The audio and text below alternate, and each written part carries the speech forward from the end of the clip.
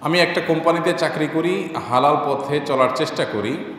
আমার বউয়ের দুনিয়ার লোভ অনেক বেশি। সে সুদের সাথে জড়িত। আমার চারটা সন্তান, কিছু বলতে গেলে সন্তান ছেড়ে চলে যাওয়ার হুমকি দেয়। এমত অবস্থা আমি কি করতে পারি? কোরআন হাদিসের আলোকে জানাবেন।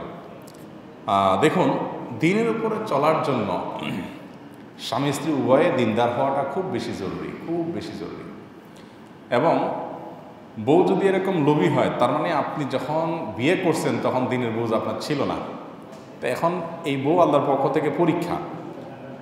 আপনি কোনো অবস্থাতে হারামে যাবেন না, গুনাহে যাবেন না। বউ যদি চলে যায়, বোর শুদ্ধ গোষ্ঠী যদি চলে যেতে চায়, চলে যাক। তারপর আপনি হারামে জড়াবেন না। আপনি যে বলেন যে, না, বউয়ের মুখের দিকে তাকায় আমরা তো একটু একটু ইয়ে করতে পারি, বিবেচনা করতে পারি। তাহলে সেক্ষেত্রে আপনাকে ঠিকই জাহান্নামে যেতে হবে এবং গুনাহের দায় নিতে হবে। কারণ স্ত্রীকে খুশি করার জন্য আপনি হারামে লিপ্ত হওয়ার সুযোগ নাই। এটা খুব জটিল বিষয়।